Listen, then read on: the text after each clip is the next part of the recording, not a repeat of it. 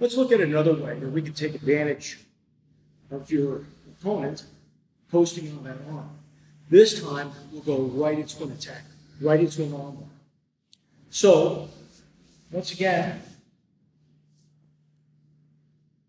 those in my guard.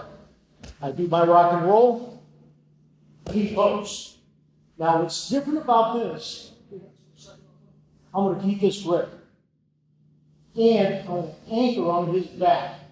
And as I do, I'm going to reach over right away, hook this arm, and slide my shin behind his back. Notice how I'm posting on my forehead. From here, I'm going to push on his neck, roll. Notice I still have his grip.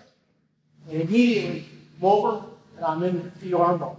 The reason why I like to roll this is because at this point, the transition, he can block my leg, get back in my guard a lot easier. So that's why I like to keep a hold of that sleeve, blocking them. Plus, as I throw my leg over, I can compress the back around and make it tighter.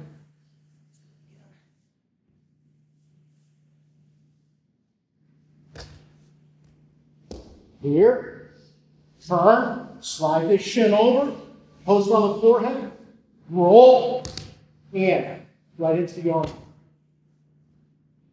Let's go for this one.